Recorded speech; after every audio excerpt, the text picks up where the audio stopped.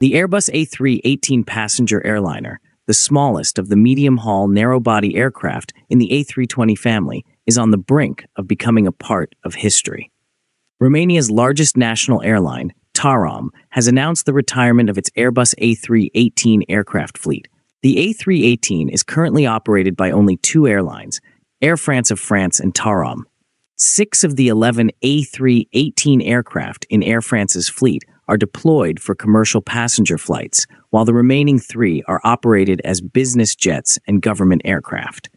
One A318 has been out of service since 2022, another since 2023. A third was retired at the end of July this year, and the fourth is scheduled to be grounded on October 26. TAROM's fleet consists of four A318s. The final active A318 in the Romanian national carrier's fleet will reach the end of its service life, as previously announced by TAROM, with the transition from the summer to the winter flight schedule at the end of October. Air France, which will soon become the sole commercial airline in the world with an A318 fleet, anticipates that the final aircraft will be retired by 2027.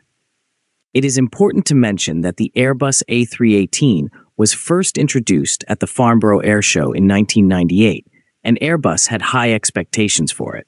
Hamburg Finkenwerder was the site of the assembly of all A318 aircraft. The A318 has a seating capacity of up to 132 passengers and a range of up to 5,700 kilometers in this modification. It is certified under a common type, which enables pilots of the A320 and A321 to operate it without the need for additional training. One of its advantages is that it is the largest commercial aircraft that has been certified by the European Aviation Safety Agency for steep approach landings. This certification is essential for flights to small regional and island airports, which are specifically designed for aircraft with limited takeoff and landing capabilities. This is especially useful at places like London City Airport, which needs a steeper than usual 5.5 degree approach because of its short runway and other obstacles in the area. Nevertheless, the A318 is the sole aircraft in the A320 family that did not receive the new generation upgrade, as it did not achieve the anticipated level of popularity among consumers. Even though it had some new features, the Airbus A318 wasn't as popular as other A320 models for a number of reasons. One of the main reasons was that it cost more to run. The A318 cost more per seat mile than bigger planes in the A320 family. This made it less cost effective for airlines to run, especially as fuel prices rose over time. This economic disadvantage was made worse by the fact that regional jets like the Embraer E-Jets and the Bombardier CRJ series were often cheaper for the areas the A318 was meant to fly. There were many planes in the Airbus family that were better than the A318, but not always. Airlines chose the A319 and A320 more often because they were more cost effective and flexible. These planes were often more appealing to airlines because they could carry a little more. In addition, there wasn't as much desire for a 100 to 120 seat airliner as was first thought. Many airlines would rather have smaller regional jets or larger narrow body aircraft. There were also technical issues with the A318 that made it not very successful. It was basically a shorter A319, but it kept a lot of the structure and features of the bigger plane. This made it pretty heavy for how many people it could carry, which hurt its fuel economy. This plane had a good range for its size, but not as good of a range as some of its competitors, which meant it wasn't as useful on some routes. It was also a bad idea for the A318 to go into service at that time. It came out on the market in 2003, just as many companies were getting back on their feet after the downturn after 9 11. This made it hard for companies to see why they should buy a new type of plane. Over time, both Airbus and Boeing made planes that used less fuel, like the A320neo family and the 737 MAX series. This made the original A318 less appealing. The low number of orders had an effect on the cost of making the goods. Because there wasn't much demand, Airbus couldn't get the same savings in terms of scale and production as other A320 family members.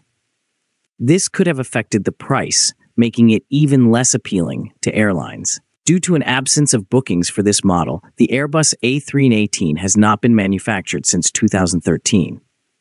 Approximately 80 units of this series were produced over time, with one presently serving as a business jet in the fleet of the Russian airline Northwest.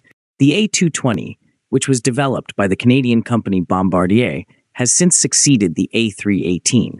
There are a few reasons why the Airbus A220 has been successful while the A318 has not. The A220 was better because it was designed specifically for the 100 to a 150 seat market, instead of being a copy of a bigger plane like the A318. This made it possible to improve economy and aerodynamics from the very beginning. Advanced materials and technology are also used in the A220. It has more modern features and uses composites a lot. In turn, this makes the structure lighter and much more fuel efficient than its predecessors. These choices about design directly lead to better economics for planes. The A220 uses less fuel and has lower upkeep costs per seat, which makes it a good choice for operators who want to cut costs. In terms of capacity, the A220 seems to have found the perfect balance between regional jets and bigger narrow body aircraft, which many airlines found to be very useful for their hubs. The timing and state of the market were also very important to the success of the A220. When it went into service, airlines were focusing more on saving fuel and making sure their fleets were the right size for each route. The plane has a very long range for its size, which lets airlines use it on longer routes that were previously covered by bigger, less fuel efficient planes. This gives them more options for planning routes and making the best use of their fleet. Another area where the A220 did very well was passenger comfort. It has a wider cabin, bigger windows, and other features that make the experience of flying better than on smaller planes in the same class. Focusing on passenger comfort fits well with airlines' attempts to make their products stand out. When Airbus bought a majority stake in the program, it got a big boost. This gave the company financial stability and market trust which helped it get past some of the problems it had when it was first released as the Bombardier C series. Potential buyers were even more interested in the A220 because Airbus has a world reach and support network. More and more, the aircraft industry is caring about the environment, and the A220's lower noise and emissions have become big selling points. More and more people are pushing carriers to be more eco friendly, which makes the A220's efficiency gains even more appealing. Additionally, the A220 gives companies a level of adaptability that was harder to achieve with older planes.